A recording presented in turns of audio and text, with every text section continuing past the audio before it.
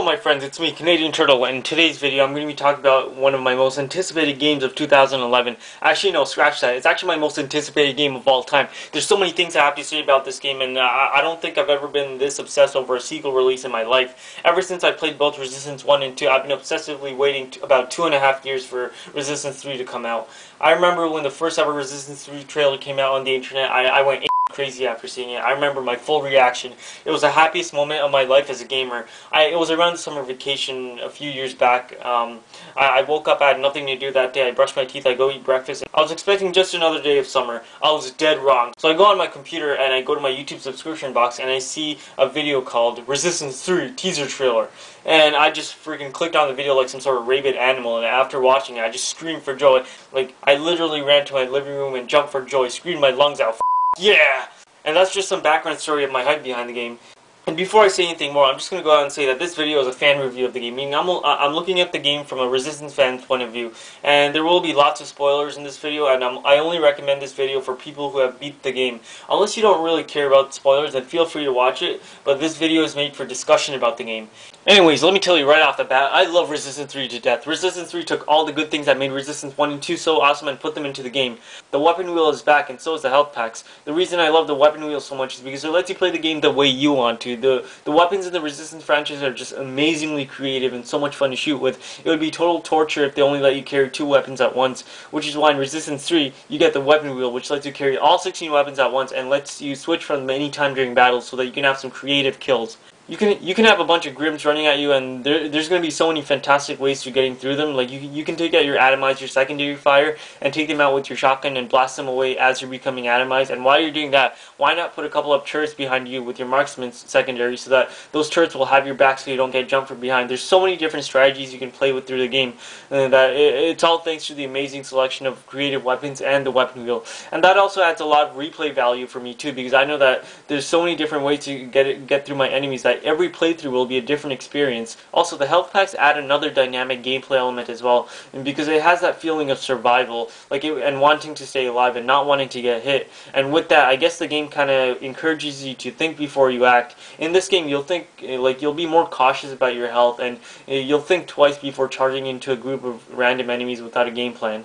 Therefore, I'm really happy that Resistance 3 went back to the original uh, old school first person shooter gameplay that Resi Resistance Fall of Man had with the weapon wheel and health packs. Like, as much as I love the second Resistance game, it's an outstanding game and I loved it for what it was, and I'm not here to bash it or anything, but imagine how much more addictive Resistance 2 could have been if only it had the uh, health packs and weapon wheel. Just take a moment and imagine playing through a level of Resistance 2 with, with the weapon wheel. I, I think the game could have been so much more dynamic and 100% better if only it had them.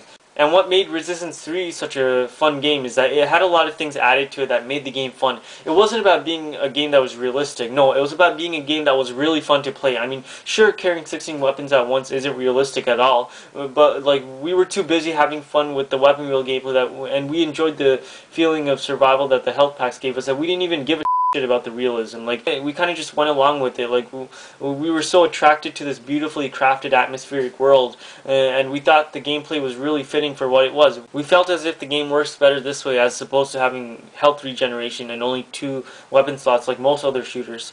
Now the weapons in this game are just fantastic. I also love the fact that the weapons level up and get stronger uh, the more you use them. And I think that was such an innovative idea for the series. And the weapons do more than just extra damage when they level up. You know, they they they all they actually look different too, so it gives more eye candy. And the old favorites are back, like the Auger, Bullseye, Carbine, Magnum, and it feels so intense using all the guns because they they make these very loud and explosively powerful sounds when you shoot with them. No, and all the Chimeran guns make all these high-tech laser sounds when you shoot with them, and I just love the feeling of the bullseye and the and the auger in this game. It really feels like you're holding a powerful extraterrestrial weapon. And one thing I really love about the bullseye is that when you shoot the secondary tag, it makes this red laser string that all the bullets follow it, and it looks really awesome in this game. They didn't do that in the previous games, and I love how each weapon like works so differently, and they're also diversified from one another that it adds so much more variety to the first-person shooter gameplay. And there's so many creative ways that you can combine the use of your weapons to the best of your advantage. My favorite new weapons are the cryogun and the atomizer. I remember the first time seeing the cryogun in action, I saw the gun freeze up a Grim like into frozen ice, and the way it looked, it, uh, I just thought it was mind-blowing. Seeing the Grims like run towards you, and then seeing it slow down and turn into like bare ice was like beautiful. And the fact that you can use a secondary for that weapon and break them into like pieces like makes it even more addictive to use. The atomizer is awesome as well. I love seeing my enemies become atomized and electrocuted from existence. It looks very nice and it feels good to know that my enemies are being tortured into a very excruciatingly painful death. Not to mention, the secondary fire for the atomizer becomes very useful during many parts of the game. It's cool how it, you know it works like a magnet, and it and it just atomizes any chimera that comes near it. Very cool. Guns like these are the reason why I love the Resistance series. You know, it's what makes the franchise so unique from other FPS games.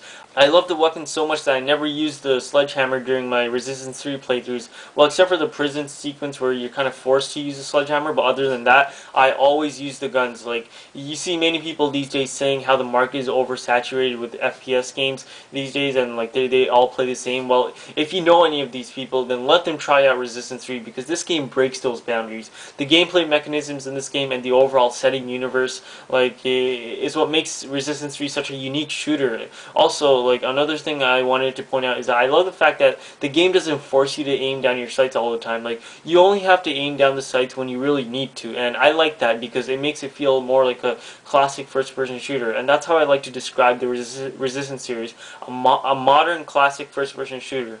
Now let's talk about the overall presentation of the game. Let me tell you that the single-player campaign for this game is epic from start to finish. As you all know, I love the Resistance games mostly because of their single-player and co-op experiences, and this game delivers an outstanding single-player campaign mode and co-op mode. One thing that stands out is that the atmosphere is back and better than ever the, feeling of being invaded by deadly alien forces back. I, I love the creepy atmosphere in this game and how everything is just torn apart and ripped to shreds by the brutal chimera. Everywhere you go, like th there's destruction and traces of spires, leapers, and even chimeran plant life like the blast roots. Every level in the game shows the devastating impact that the chimera have done to the earth and uh, I have never seen such beautiful destruction in my life. In most of the levels, you can see like chimeran plant life all over the, all over the place, and it looks it, it really looked as if the Earth itself was dying as much as the human species. Like it made me wonder if the Earth was ever going to get back on its foot ever again. Now that it's not pure anymore, like the graphics in this game have set such a unique tone because of the beautifully colored art style, and it fits really well with the 1950s era. I honestly don't think we'll ever see a better looking alien invaded 1950s America in any other game. My favorite level is the evacuation level from the beginning of the game. I thought that it was such an intense experience to be part of an incoming terraformer and seeing the wind and gusts just wreak havoc on everything and fighting the Chimera at the same time made it even more epic. Like, uh, I also have to mention the epic snowy levels in this game. Like, the snow effects look really beautiful in this game and looks really nice. And it actually made me feel like I was in the middle of a real snowstorm. I also adore the Chimera. I've said this many times and I'll say it again. The Chimera are the best enemies I've ever seen in any video game. I love their creepy alien-like designs and their aggressive nature.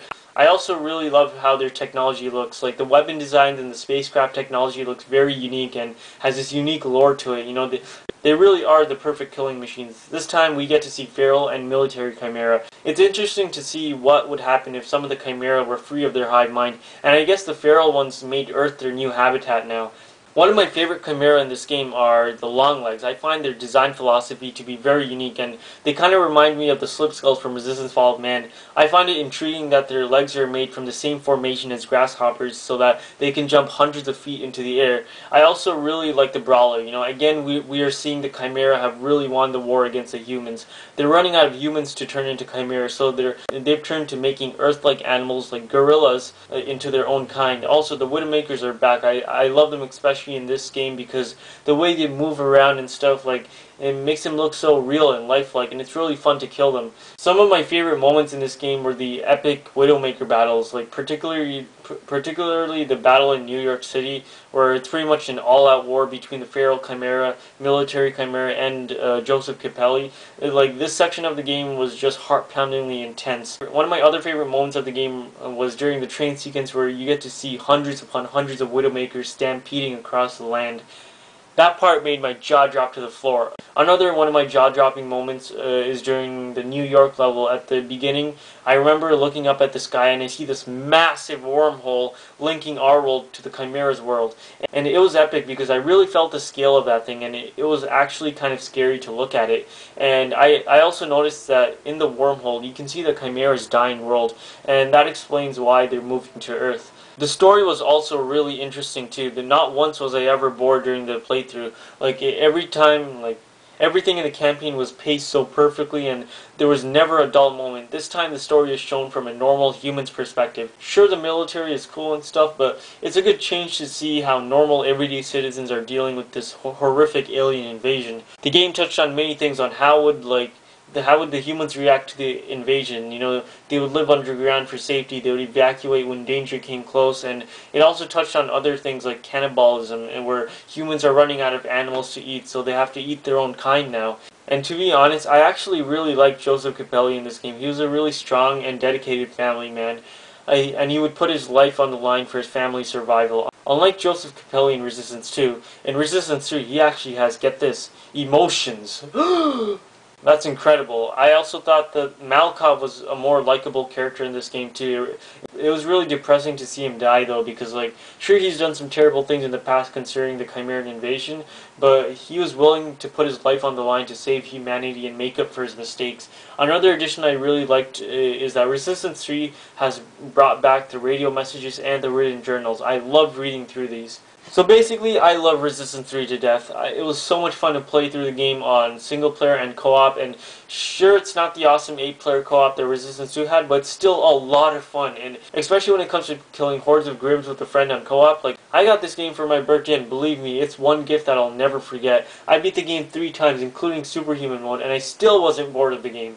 I went on playing through the campaign and co-op with a lot of other people, and Resistance 3 is my game of the year for 2011 because I got my money's worth and I got what I've been waiting two and a half years for, an epic sequel to my favorite gaming series of all time. And uh, I want to personally thank Insomniac Games for creating the Resistance franchise. They've done such an amazing job with this game, and especially because they really listened to their fans this time. Insomniac Games, let me tell you this, no matter what any of the critics say, I want to tell you guys that you've done an outstanding job with, with Resistance 3 and the overall Resistance series, and no other game series will ever fill its shoes. Thank you all for watching. This video was made for all the Resistance 3 players out there. Tell me your impressions of the game and what you think overall. Also, let me know what you think of the future of the Resistance series, and I'll see you next time.